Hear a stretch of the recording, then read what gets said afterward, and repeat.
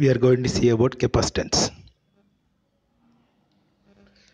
Two conducting plates carrying equal and opposite charges. That is, from one conductor, positive charge is here, negative charge is here. The flux lines are leaving from one charge and terminating with the other charge. These two plates are separated with a distance of d. So these two plates separated with the help of dielectric material or it may be any free space. The potential difference between these two plates V is equal to V1 minus V2 that is equal to minus integral of E dot dl where E is the electric field existing between the conductors. So definition for capacitor the ratio of magnitude of the charge on one of the plate to the potential difference between them that is C is equal to Q by V. So as per Gauss law Q is equal to integral D into ES right D is equal to epsilon E. If you substitute there you will get epsilon integral E dot ds. V is equal to electric potential minus integral E dot dl. So procedure for calculating the capacitance. First we have to find that what type of coordinates right the second point whether it is positive charge or negative charge it is assigned or not right the third point using coulomb's law we can able to find that e value then we can find that v value right? So at last c is equal to q by v. Using this formula we can able to calculate the capacitance value right? Now we are going to see about parallel plate capacitor. Here first our aim is to find that what type of coordinates right? Here you can see that one plate is here another plate is here right? So here this is positive charge this is negative charge this is kept in the x axis. So we can consider this is the xy z coordinates that is rectangular coordinate or it may be cartesian coordinate system. These two plates are separated by a distance of d right? So plate 1 is positive charge and plate 2 is negative charge. So in between these two charges we are keeping some dielectric material right so here assume that charge is distributed uniformly right?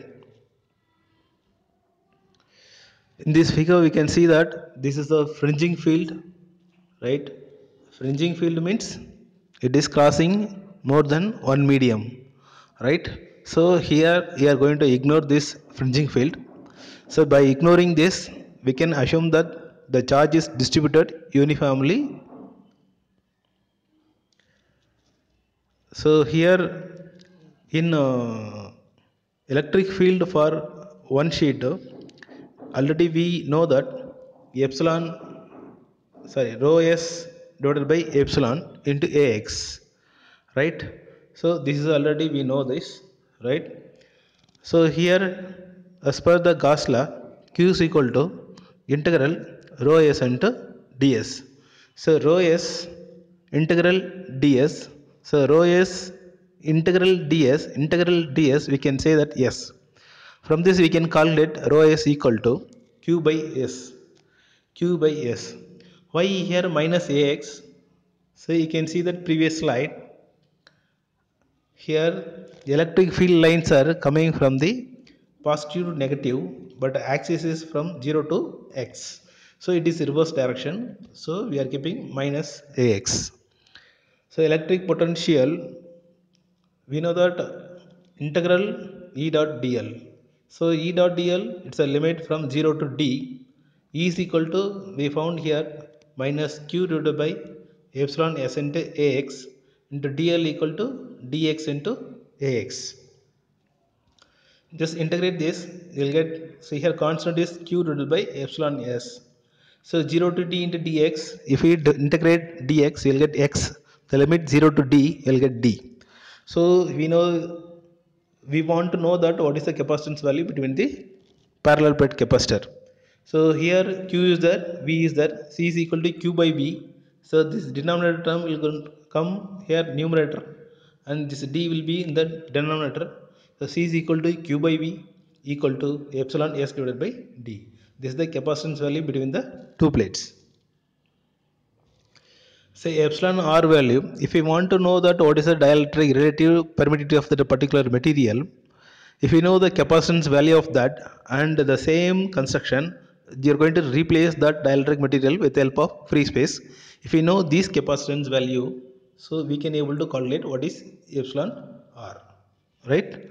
So energy stored in the capacitor. Already we know that W equal to 1 by 2 CV square.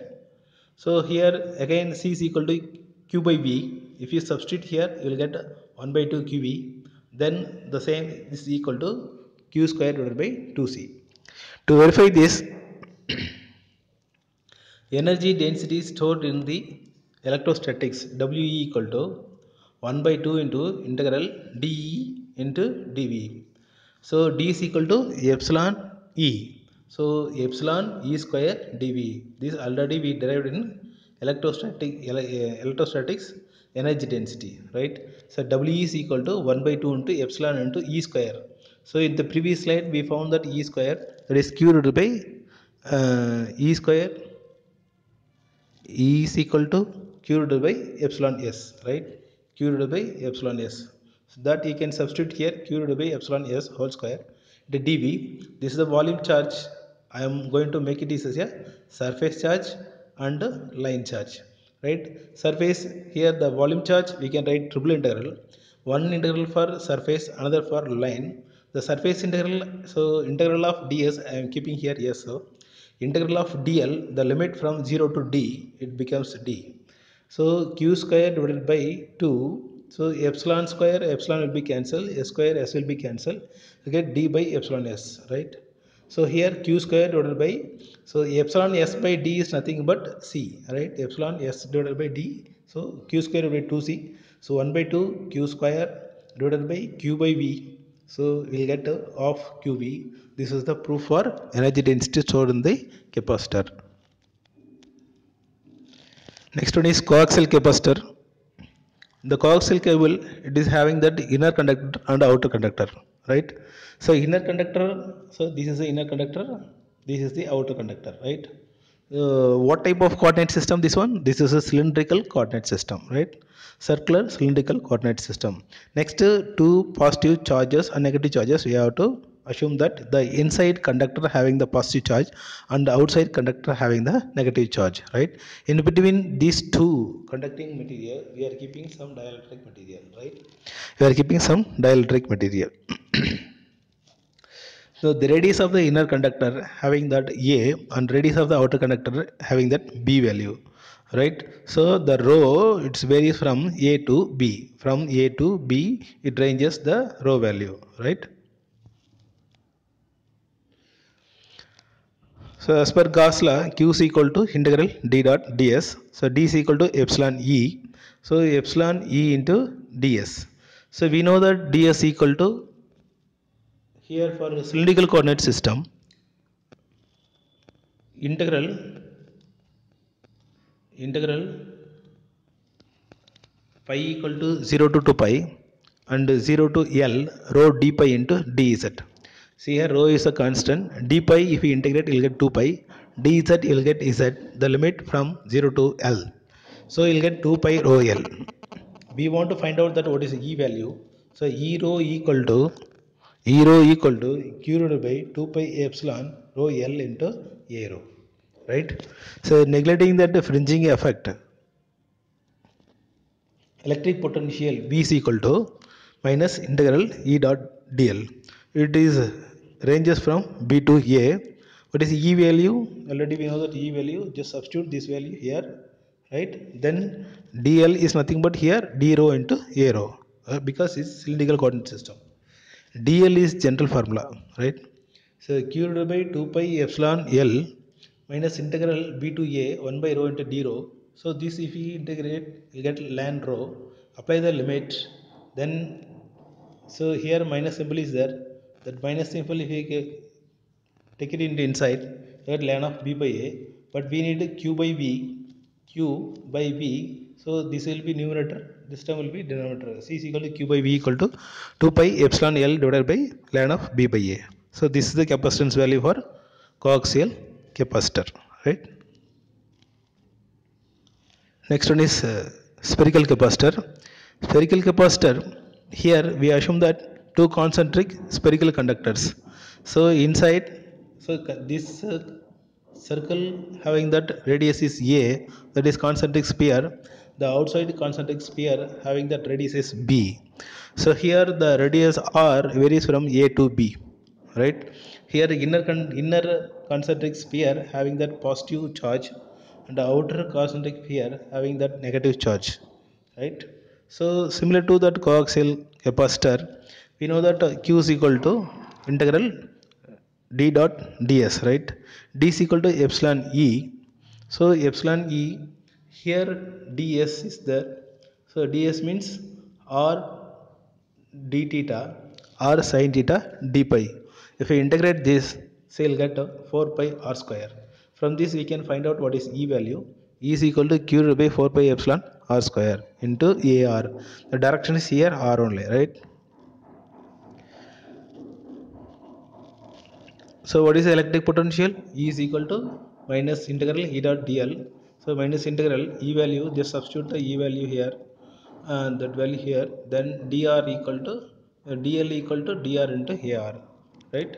So you substitute here minus r power minus 2. If you get my 1 minus 1 by r, so already here minus is there, minus minus plus, then 1 by a and 1 by b, right? Just we need q by v, right? So you will get 4 pi epsilon divided by 1 by a minus 1 by v. This is the capacitance value for spherical capacitor. So thank you.